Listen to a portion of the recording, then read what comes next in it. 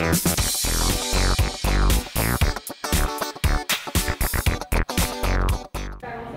I'm Lauren Ritchie from Waffle TV, sponsored by Westbeer, and today I'm with the cast of Exposed. How are you today? Uh, yeah, we're good. We're good. Really good. Yeah, all good. Enjoying the Fringe? Yeah, loving it. Yeah, it's been really brilliant, hasn't it? Yeah. I've seen some really good stuff. So, that's what it's all So, tell us about Exposed. Um, it's based around human impulses and society's kind of restrictions on them. So anything from a guy who is drunk and puts a cone on his head and starts dancing around to something quite extreme where a policeman wants to up the person that he's arrested. So it kind of goes from both sides. You look at it in a physical way and also in a comical way and then also in quite deep, dark. We use like lots of fragments within the piece, so we like to look at um, using media, so we use projections on stage. There's also um, always something for the audience to be watching, so we, we try to keep it engaging throughout. That's why it's quite a fragmented piece with the technology, the movement, the comedy, the serious part, so it's like a real roller coaster to take the audience on. Yeah, it's a, it's a really fun, energetic piece, but uh, like the guys said, there is some more darker moments in it that um, do have the audience actually really thinking about some of the impulses that are in everyday life. So yeah, And a lot of the, the text within the show is from um, real life accounts. So what we use is, is called verbatim text. So what we did before we created the performance was we all went out into the streets and interviewed people in certain jobs. So like I spoke to a nurse um, and then ask them if they've had an impulse and if they've followed it. And then we write it down word for word and take on that character and then uh, portray that to the audience.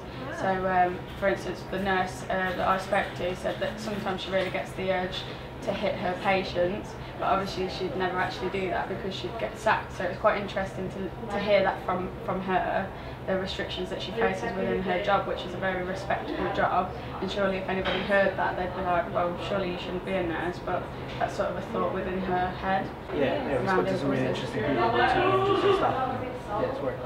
Where did the idea to make a show about like impulses come from? Uh, well, there's five of us in the company, and uh, we're really impulsive people. Um, you might find us in a supermarket singing because we want to sing, uh, and we're really impulsive people. So we decided to make a show about our impulses, um, and then we did a lot more research about into um, the impulses that all different types of people have on a daily basis. Whether it's for a short second when they think about doing something and they restrict it and they don't do it, or whether people actually do go through with it.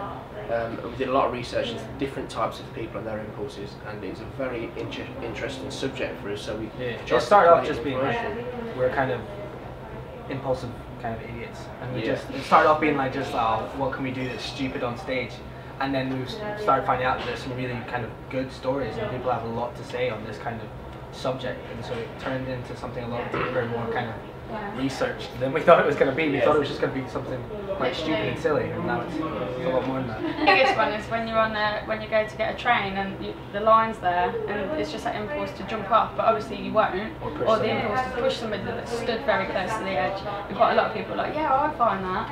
And the show's quite interactive with your audience. Yeah, we do. There's a there's a couple of things. So the first off, there's like an auction where um, the audience can bid for whatever for uh, the contents of this mystery box, and so they can bid whatever they have. Like it doesn't have to be money. We we'll, we prefer if it's not money.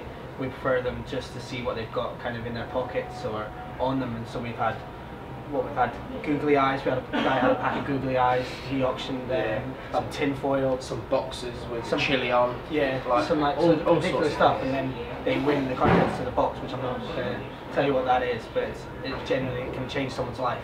Uh, the contents of the box, that's really cool. And then later on, yeah, we give the audience two minutes to do uh, whatever they want to the people on stage. So we put two people up on stage, voiceover happens, and then you just kind of feel this energy change in the room when the audience realize that they can actually get up and they can do whatever they want. And so people have done again a range of different things, starting from just like a hug, people get up and hugging them, right the way through to uh, guy put squirty cream on uh, on a couple of them, put water on Yeah. them. We've had Lots of people tip their water over Yeah. them. Yeah, we, we do find uh, people like yeah, we do find like the audience like to get up and tie their shoelaces and do things that could stunt us, which is really funny. But we do have some really nice impulses that people get up and follow. For instance, there was a there was a woman, like an elderly woman, that got up the other day, um, and she stood on stage and she looked at the two actors and said, um, "You're talking about impulses, so I just want to tell my husband that I love him very much." And we were all like, "That's was so- amazing." She had an impulse to say that, and she just did it. And her, her husband was in the audience, so she sort of pointed, pointed him out, and everybody, it was really nice. Oh, moment. that's lovely. Yeah, yeah. So it's not, it's not always um, bad things happening. Yeah. there's Yeah, it's not lot- always there's a lot of negative nice impulses. things. It's Yeah, yeah, definitely. And people take the chance, even though we're saying come do anything to us, people also just take the chance just to go on stage and do something that they want to do, like say Yeah. something or like some girl just came on like straight away. She was on quick and just lied down for the whole two minutes, just laid there. Yeah. So like, there's like a whole range of different stuff happens. release your impulses, do whatever you want to us or on stage. So it's really like a challenge for the audience as well to see if they follow it or because some audience members are very shy and Yeah. sort of reserved and they'll just sit there and think, oh, I don't want to go up, I don't want to go up. But that's like another way we're saying, well, that Yeah. just shows another side to impulses. A lot of people do just restrict that, even though we're giving them permission to do it. It's quite interesting. It's to a see nice that. little bit of like social commentary as well, seeing kind of what people are willing to do. Yeah, yeah, definitely. So, what's your future plans after the Fringe? Um, well, we came here with the the plan to do as well as we could, but also to talk to theatres, get theatres to come and see us, so that we can then get get booked into the various venues and things like that, so that we can book a tour. So we've had we've had quite a few. Started to do some contracts and stuff with some different venues, so that we can book a tour and get some arts council funding to do that tour over the next year. And that's kind of our, our big plan for next year. And then Well, I think the show sounds amazing. I really want to go check it out. And um, you can catch Exposed at the C.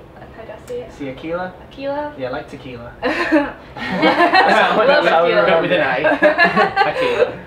and it's at five past twelve every day up to the twenty sixth. Yes. That's Yeah. it, yeah.